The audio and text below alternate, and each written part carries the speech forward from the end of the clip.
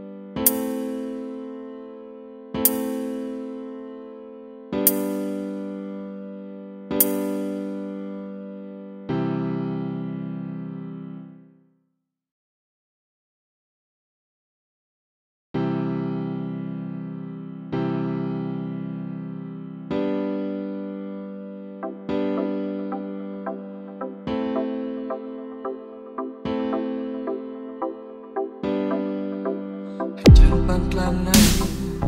Molong taklay no katover Lam say me